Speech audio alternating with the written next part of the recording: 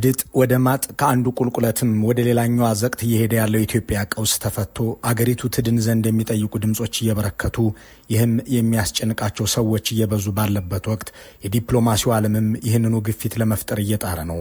በአንድ አገር ያለ መንግስት የቅቡልነት ቀውስ ውስጥ ሲገባና አምባገነናዊ ሲሆን የአገሩ ልሂቃን ከአዳራሽ ወጥተው ጫካ ይገባሉ።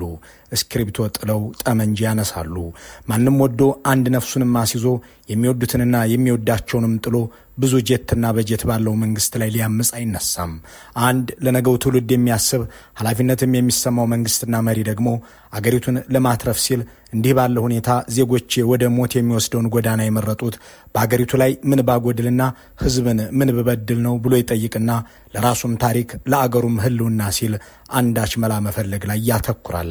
የብልጽግናው መንግስት ባለፉት ዓመታት ሁሉንም ነገር በጠመንጃ ገዛለሁ፣ ሁሉንም ኃይል የኔ ገባር አድርጌ ያስገባለሁ ብሎ ባካሄደው ዘመቻ እልፎች ወድቀዋል፣ ቢሊዮኖች ደቀዋል። አሁን ደግሞ የአገር ህልውና አደጋ ላይ ወድቋል።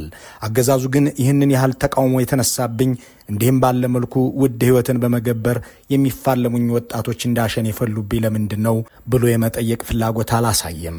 ለኑሮ ምቾት የሚያስብ ለኢኮኖሚያዊ ብልጽግና ምኞት ያለው ሰው ብልጽግናን ይጠጋል እንጂ ጠመንጃ አንስቶ ቆላ ተንቤን ወይም ሶማ በረሃ አለያም ወለጋ ጫካ እንደማይገባ እየታወቀ ስልጣን ፈላጊ ሰውም በአንድ ጥይት በሆነ ቅጽበት የሚያጣትን ነፍሱን አስይዞ እንደማያምፅ እየታወቀ አገዛዙ የተከፈተበትን ትጥቅ አገዝ ትግል የኢኮኖሚ ፍላጎት ማሳኪያና የስልጣን ጥማርኪ አድርጎ ሲመለከተው ደጋግመን አይተናል።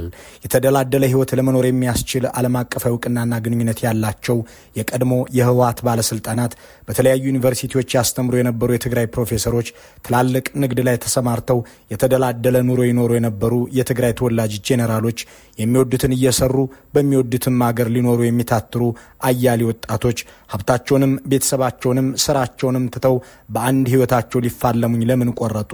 ሀብትም ዝናም ምቾትም ያልተጓደለባቸው ሰዎች መስዋዕት እስከ መሆን በደረሰ ቁርጠኝነት ለምን ታገሉኝ? በአማራ ክልል ነጋዴዎች ሱቃቸውን ዘግተው የዩኒቨርሲቲ መምህራን ጠመኔያቸውን ጥለው ሐኪሞች ጋውናቸውን አውልቀው የባንክ ማናጀሮች ስራቸውን ትተው ተማሪዎች ትምህርታቸውን ወላጆች ልጆቻቸውን ትተው ከእኔ ጋር መፋለምን ለምን ምርጫ ያደረጉ? ምን ብበድላቸው እንዲህ ባለ ነፍስንና አካልን ኑሮንም በሚያሳጣ ተግባር ላይ ተገኙ? የኦሮሚያ ወጣቶችስ ስልጣን በልጃችሁ እጅ ነው እያልኩ ነግሬያቸው መሬትም ስልጣንም ልስጣችሁ ብዬም ጠይቂያቸው ጥያቄው የግል ስልጣንና ምቾት አይደለም ብለው ውድ ዋጋ የሚያስከፍለውን የትግል መስመር ለምን መረጡ? የሚወዱትን የሚወዷቸውንና የሚፈልጓቸውን ቤተሰቦቻቸውን ትተው ለምንስ ዘመቱብኝ ብሎ መጠየቅ ከአንድ ኃላፊነት ከሚሰማው የራስን ክብርና ዝናን ከአገር አስበልጦ ከማያይ መንግስት የሚጠበቅ ነበር። ሆኖም ፋኖችን ጫካ ከምትገቡ በእኔ ስር ግቡ፣ የኦሮሞ ነጻነት ሰራዊት ታጣቂዎችን ሽፍቶቹን በየቀኑ እንዋጋቸዋለን፣ የትግራይ ታጋዮችን እንደ ዱቄት በትኛቸዋለሁ፣ መቀሌ አይመለሱም የሚል መፈክር እያሰማ ብዙዎች አለቁ። አገርም ወደ አፋፉ እየተገፋች ቀጠለች። ቲፒኤልኤፍ ማለት በንፋስ ላይ እንደተበተነ ዱቄት ማለት ነው። ካሁን በኋላ ፕሬዝዳንት እንዴት ይኮናል? አይኮንም። ስጎን ይሄ ታሪክ ነው። በፍጹም ብንዋጋ ባንዋጋ አይደገምም። በእያንዳንዱ ደቂቃ እንዋጋቸዋለን። ሰው አዘን ሂድ ሙትና አገርህን ታደግ ብለን እንዋጋቸዋለን። አማራ ነኝ የሚል ለአማራ እቆረቆራለሁ የሚል የአማራ ጥቅም ሊነካ አይገባውም የሚል ካረጋ አመራር ስር ሆኖ ህዝቡንና ክልሉን መጥቀም ስለሚችል ይብቃን መገዳደል። እንዲህ ያለ ሰውና መንግስት ገዢ በሆኑበት ሀገር መፍትሄው ምንድን ነው? ወደ ገደሉ ስርቻ እየተምዘገዘገች ያለችውን ኢትዮጵያንስ እንዴት እናትርፋት የሚለው ጉዳይ ከብልጽግናው መንግስት በላይ አሜሪካና አውሮፓን ከአብይ አህመድ በላይ ማይክ ሀመርን የሚያስጨንቅ ሆኗል። ለዚህም ብሔራዊ ውይይትንና ሀገራዊ እርቅን እንደ ብቸኛ መንገድ የሚያቀርቡ የምዕራቡ ዓለም መንግስታትን የተራቆተ የውጭ ምንዛሪ አቁማዳውን ለማርጠብ ሲል የምክክር ኮሚሽን የሚባል ተቋም አቋቁም ያለው ብሎ ለማምታታት እየሰራ ነው። ይህንን ጉዳይ በሚገባ የሚከታተል አውሮፓዊ ዲፕሎማት ለኢትዮ ፎረም ሲናገር ድርድርን ጠቅላይ ሚኒስትሩ ከግል ጉዳያቸው አንጻር እንደሚያዩት ያነሳና ምናልባት ምክትላቸው መሆኑ ፓርቲያቸው ስለዚህ ጉዳይ አያውቁም። ደቡብ አፍሪካ ሄደው ሰላም ስምምነት ሲፈራረሙ ከሶማሌላንድ ጋር ሲነጋገሩ የወቅቱ ምክትላቸውና የውጭ ጉዳይ ሚኒስትራቸው እንኳን አያውቁም ነበር ይላል። ሀሳቡን ሲቀጥልም ኢትዮጵያ ውስጥ ጦርነት የሚካሄደውም ሆነ ድርድር የሚጀመረው ለአብይ ሲባልና ለሳቸው ስልጣን የሚመች ውጤት ካለው ብቻ ነው ሲል ያክልበታል። በእርግጥ እውነተኛው አገራዊ እንቅፋት ጠቅላይ ሚኒስትሩ ባይሆኑ ኖሮ አገሪቱ እስካሁን ወደ አገራዊ ውይይት ገብታ ችግሯን ላለማባባስ ትጥር ነበር የሚለው ብዙዎችን የሚያስቆጭ ተግባር ነው።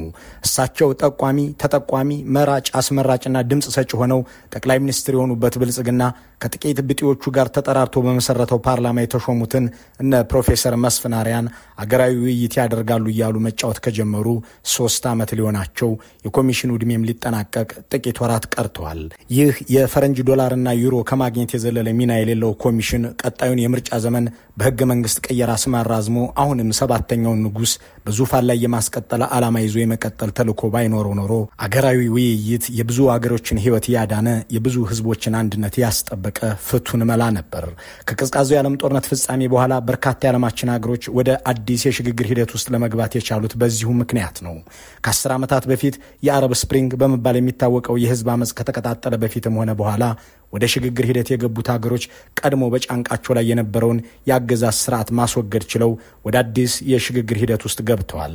ከቀዝቃዛው የዓለም ጦርነት ማብቃት በፊት ከምዕራብ አውሮፓና ከሰሜን አሜሪካ ሀገሮች ውጭ የሚገኙ አብዛኞቹ የመካከለኛው ምስራቅ፣ የምስራቅ አውሮፓ፣ የኤስያ፣ የደቡብ አሜሪካ፣ የአፍሪካና የመካከለኛው ምስራቅ አገሮች ከዲሞክራሲ ጋር የማይተዋወቁና በአገዛዝ ስር የሚኖሩ አገሮች ነበሩ። ለምሳሌ ከቀዝቃዛው ጦርነት ማብቃት አንድ ዓመት አስቀድሞ ማለትም እንደ አውሮፓውያን አቆጣጠር በ1989 ከ48 የአፍሪካ ሀገሮች ውስጥ አራት ሀገሮች ብቻ ዴሞክራሲ የሰፈነባቸው 21 ሀገሮች ከፊል ዲሞክራሲ የነበረባቸው 22 ሀገሮች ደግሞ ዲሞክራሲ የሚባል ነገር የማያውቁ ነበሩ።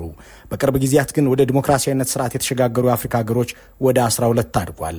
ፈጽሞ ዲሞክራሲ የሌላቸው ሀገሮች ደግሞ ወደ 15 ዝቅ ብለዋል። በዲሞክራሲ ረገድ አዎንታዊ መሻሻል እያሳዩ የሚገኙት የበለጸጉት ሀገሮች ብቻ ሳይሆኑ ታዳጊ የሚባሉት ሀገሮችም ሆነዋል። ዛሬ ለምሳሌ በቦትስዋና፣ በኢንዶኔዥያ፣ በማላዊ፣ በመንጎሊያ፣ በደቡብ አፍሪካ፣ በሴኔጋል፣ በታንዛኒያ፣ በዛምቢያ እና በቱኒዚያ በመሳሰሉ ሀገራት የተፈጠሩ ልሂቃን በውይይት በድርድርና በሀገራዊ ምክክር አገራቸውን አትርፈዋል። እነዚህ ሀገሮች እንዲህ አይነት ውጤት ማስመዝገብ የቻሉት ደግሞ ቀድሞ የነበረን መጥፎ ታሪካዊ ውርስንና በወቅቱ የተፈጠረውን ቀውስ በአገራዊ ውይይትና ይቅርታ ፈተው ነው። በብዙ ሀገሮች እንደታየው ለአንድ የሽግግር ሂደት ስምረት የሽግግር ሂደቱ የአመራር ኃይል ብቃት፣ የተፎካካሪ ፓርቲዎች የፖለቲካ ባህልና የሲቪል ማህበረሰቦች ተቋማዊ ብቃት ወሳኝ ድርሻ እንዳላቸው ታይቷል። ይህ ሁሉ እንዲሆን ግን በስልጣን ላይ ያለ መንግስት ወይም በሆነ ታሪካዊ አጋጣሚ ቤተ መንግስት የገባ ሰው ለትውልድ የሚጨነቅ ልቦናና ከስልጣኑ የተሻገረ የአገር ፍቅር ሊኖረው ይገባል። ማንዴላ የተባሉት የደቡብ አፍሪካ ፖለቲከኛ እስካሁን የሚያስወድሳቸው 30 ዓመት ለሚጠጋ ጊዜ በእስራትና በግዞት ያሰቃያቸውን ስርዓት ተወግዶ ስልጣን ሲይዙ በአገሩ ላይ ሀቀኛ ውይይት፣ እርቅና ይቅርታ እንዲካሄድ በማድረጋቸው ሶስት አስርታት ለሚጠጋ ጊዜ ታግለው ያገኙትን ስልጣንም ከአንድ ዙር በላይ አልፈልገውም ብለው በአምስት ዓመታት ለተተኪያቸው በመልቀቃቸው ነው። በዚህ ተግባራቸውም ዛሬ አገራቸው ከአፍሪካ ትልቁ ዲሞክራሲ ያለባት ትልቁን የአህጉርን ኢኮኖሚም የምትመራ ሆናለች። እሳቸው ተከብረው ተጦረውና ተፈቅረው በሀገራቸው እንዲኖሩ ይህ በጎ ስራቸው መከታ ሆኗቸዋል። በዘጠና አምስት ዓመታቸው ሕይወታቸው ሲያልፍም የ20 ዓመት ወጣት እንደተቀጠፈ ሁሉ የአገራቸው ሕዝብ ብቻ ሳይሆን ዓለም ስቅስቅ ብሎ አልቅሶ ሸኝቷቸዋል። የዘመናችን የኢትዮጵያ ገዢዎች ግን እንዲህ ላለ በጎ ነገር ከመስራት ይልቅ በአገር ሕልውናና በሕዝብ ሕይወት ላይ መቀለድ የሚቀናቸው እንጂ በሐቀኛ ድርድር አገርን ለማዳን ሲተጉ የሚስተዋሉ አልሆኑም። ቀደም ሲል የተጠቀሰው አውሮፓዊ ዲፕሎማት በኢትዮጵያ ውስጥ ሐቀኛ ብሔራዊ ውይይት እንዳይካሄድ እንቅፋት ናቸው ያላቸው ጠቅላይ ሚኒስትር አብይ ሰጥቶ መቀበል የሚጠይቀውን ድርድር እንዴት እንደሚቀልዱበት አንድ ማሳያ እናንሳ። በ2013 ዓ ም በትግራይ ጦርነት ማካሄድ በጀመሩ ገና በአንድ ወሩ ወደ ድርድር ግቡ ሲባሉ ከሰይጣን ጋር አልደራደርም፣ ይልቅ ከሙሉ ነጋ ጋር እየተደራደርኩ መሆኑን እወቁ ብለው ከሚፋለሟቸው ጋር ሳይሆን ራሳቸው ከሾሟቸው ጋር ድርድር ማድረጋቸውን የገለጹበት ይጠቀሳል። ተነጋገሩ። ከማን ጋር ከማን ጋር የምንነጋገረው? በእርግጥ የተከበረው ምክር ቤት እንዲገባው እንዲገነዘብ የምፈልገው የኢትዮጵያ መንግስት ድርድር ሲያደርግ ነበር ውጊያ እየተዋጋ ድርድር አያደርግ የሚለው ውሸት ነው። ድርድር ስናደርግ ነበር። ባለፉት ሁለት ሶስት ሳምንታት ውጊያ ላይ ያለን ድርድር ነበረ። የዓለም መንግስታትም እንዲያውቁት ይህ ድርድር የተካሄደው ከዶክተር ሙሉ ጋር ነው፣ ከህጋዊው የትግራይ አስተዳደር ጋር ከሱ ኮሚቴዎች ጋር ድርድር ነበረ። ጌታ ከሎሌው ጋር ሲደራደር፣ ንጉሥ ከባሪያው ጋር ሲከራከር ታይቶ በማይታወቅበት ዓለም ጠቅላይ ሚኒስትሩ ራሳቸው ከመረጧቸው ምስለኔያቸው ጋር እየተደራደርሁ ነበር ብለው ሲናገሩ ስለ ሀገራዊ ውይይትና ድርድር ያላቸውን ግንዛቤ የሚያሳይ ብቻ ሳይሆን ነገሩን የሚመለከቱት እንደ ተራ ጨዋታ መሆኑንም ነው ማለት ይቻላል። የዚህ ሁሉ ሀገራዊ ምስቅልቅል ምንጭ የሆነው የትግራይ ጦርነት ሲጀመር የሚቀርብላቸውን የድርድር ጥያቄ እምቢ በማለታቸው ሚሊዮኖች አለቁ። የአገርም መከራ በዛ። ባለፉት ዘመናት እንደሳቸው ያሉ አምባገነን መሪዎችና ከስልጣናቸው ውጭ ስለ አገርና ትውልድ ለማሰብ አንድ ደቂቃ መመደብ የተሳናቸው መሪዎች የሚቀርብላቸውን አገራዊ ውይይትና እርቅ ገፍተው አገር አፍርሰዋል። ለምሳሌ የመንና ሊቢያን በመሳሰሉ አምባገነናዊ አገዛዝ በነበሩባቸው አገሮች አዲስ መንግስት ማቋቋም ሳይቻል ቀርቶ ወደ ለየለት የእርስ በርስ ጦርነት ተገብቷል። ዲሞክራቲክ ሪፐብሊክ ኮንጎን፣ ሶማሊያን፣ ሶሪያንና ዩጎዝላቪያን በመሳሰሉ አገሮች መሪ የነበሩ ግለሰቦች ከውይይት ይልቅ ጠመንጃቸውን በማስቀደማቸው አገሮቹ እየተናዱ ቀጥለዋል ወይም ተንደው አብቅቶላቸዋል። እንደ ዚምባብዌ ያሉ አገሮች ወደ እርስ በርስ ጦርነትና ደም መፋሰስ የመግባት አደጋን ማስወገድ ቢችሉም ጠንካራ መንግስት ማቋቋም ተስኗቸው የደቀቀ ኢኮኖሚ ይዘው አገራቸውን ነፋስ እንደሚያጣድፋት የሻማ መብራት ጭል ጭል እንድትል አድርገዋል። የዚህ ሁሉ ምክንያቱ ግጭትን በሰላም ለመፍታት አገራዊ ተቃርኖችን በእርቅና ድርድር ለመቋጨት ቅንነት የሌላቸው መሪዎች መኖር ነው። አብዛኞቹ የወደቁ ወይም እየወደቁ ያሉና የሚተራመሱ ሀገራት የአግላይነት ፖለቲካ ሲያራምዱ የነበሩና በአንድ ግለሰብ የበላይነት ስር የወደቁ ነበሩ አሊያም በወደድ ባይ ፖለቲከኞች በሃይማኖትና በብሔር አክራሪዎች የተጠለፉ እንደነበሩ ጉዳዮቹን የተከታተሉ ጥናቶች ያስነብባሉ።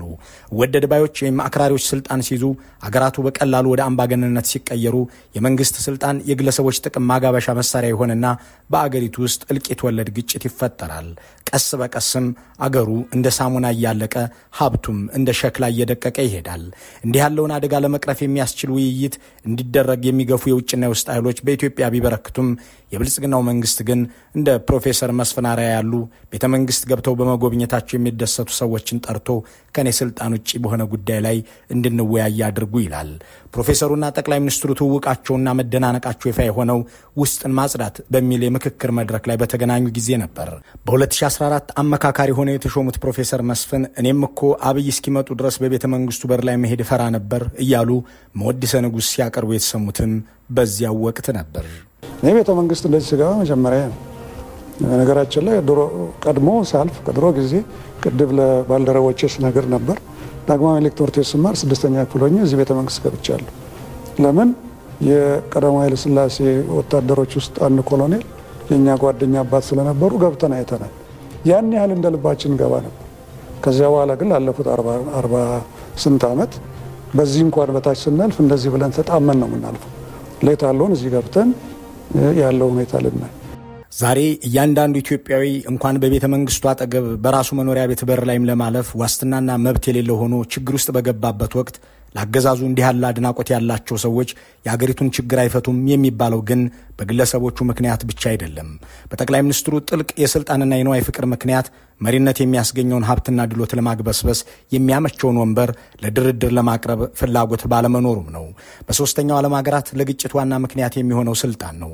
ስልጣን ቅቡልነት ሲያጣ ተቃውሞ ይበረክታል። ያኔ ጠመንጃ መማዘዝም ይመጣል።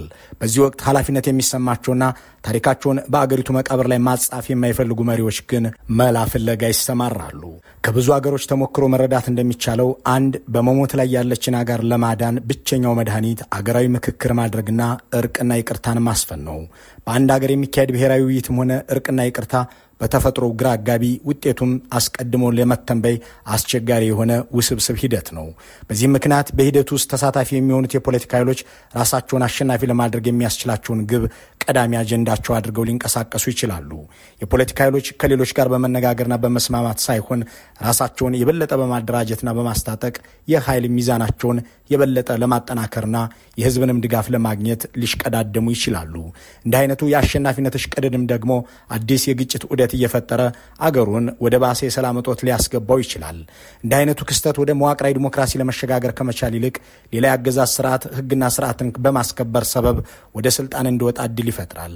ስለሆነም አገርን ከእንዲህ አይነቱ አደጋ ለመታደግ ሁሉን አቀፍና አሳታፊ የሆነ የተለያዩ የግንኙነት መስተጋብሮችን ተጠቅሞ ተጽዕኖ ፈጣሪ ዜጎችና የፖለቲካ መሪዎችም የሚሳተፉበት ፊት ለፊት ተገናኝተውም አገር ለማዳን ምን እናድርግ የሚሉበት መድረክ መፍጠር ግድ ይሆናል። በአንድ የሽግግር ወቅት የፖለቲካ ልሂቃን በአገራዊ የምክክር ሂደት ውስጥ ተሳታፊ ሲሆኑ በሂደት በመካከላቸው የነበረን ጥርጣሬና መፈራራት ማለዘብ፣ ግላዊ መቃቃርን ማስወገድ፣ ጠብ አጫሪነትን መቀነስ፣ በሂደትም ምስጢሮችን ወደ መለዋወጥና ወደ መለስተኛ ስምምነት መሸጋገር ይጀምራሉ። በሌላ ቋንቋ መተማመን ይጀምራሉ ማለት ነው። የመግባባትና የመተማመን ደረጃቸው የበለጠ እየተጠናከረ ሲመጣም ራሳቸውን ከእወደድ ባይነት ፖለቲካ ማራቅና የሀገርን ችግር ፈቺ መፍትሄ አመንጭ አድርገው መቁጠር ይጀምራሉ። እንዲህ አይነቱ ውጤትም አንድን የሽግግር ሂደት ውጤታማ የማድረጉና አገርን ከመፍረስ አደጋ የመታደግ እድሉ ሰፊ ይሆናል።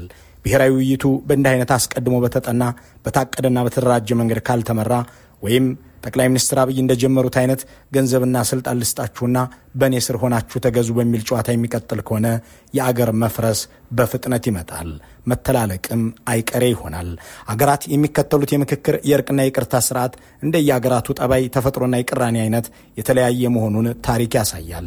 በኢትዮጵያ ሊካሄድ የሚገባው አገራዊ የምክክር ሂደትም የአገሪቱን ልዩ ባህሪ ግምት ውስጥ ያስገባና በአገሪቱ ያሉ የፖለቲካ ቅራኔዎችን በአግባቡ ከመረዳትና ከመተንተን የሚነሳ ሊሆን ይገባዋል እንጂ አንድ ግለሰብ ስልጣኔን አራዝሙልኝ በሚል ከቤተ መንግስትና ከፓርላማ በሚሰበስባቸውና በሚያዛቸው ሰዎች የሚመራ ሊሆን አይችልም።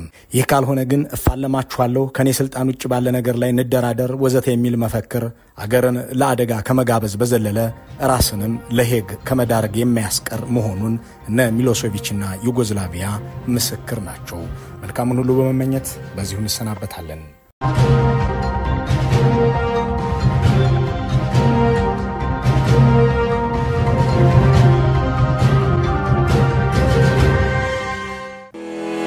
የሴራር ካብ የደም መንበር አሁንም በአማዞንና በ49 ሺህ አማራጮች እንደቀረበ ነው። የመጀመሪያዎቹ ተከታታይ ህትመቶች ተሽጠው ካለቁ በኋላ በአዲስ ቅርጽ ለአንባቢያን እንዲያመች ተደርጎ በድጋሚ ተዘጋጅቷል። በአማዞን በኩል ለበርካታ ሳምንታት best seller ሆኖ የዘለቀው ይህ መጽሐፍ እንዲህ ያለ ሪከርድ በመያዝ በአማርኛ መጽሐፍት ታሪክ የመጀመሪያው ነው። የሴራ እርካብ የደም መንበር በጋዜጠኛ ያየሰው ሽመልስ የተጻፈ የዘመናችን አነጋጋሪ መጽሐፍ። መጽሐፉ የሚገኝባቸው አድራሻዎች ከዚህ ጥንቅር ስር ባሉ ሊንኮች ያገኙታል። መልካም ንባብ